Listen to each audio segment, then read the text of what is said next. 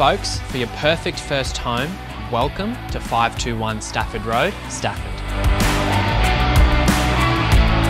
A generously proportioned three bedroom home, you also have the addition of a sitting room which acts as your own private retreat.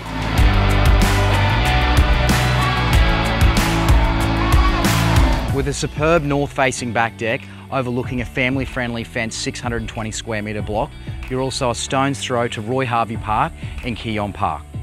For more information, give Simon or I a call.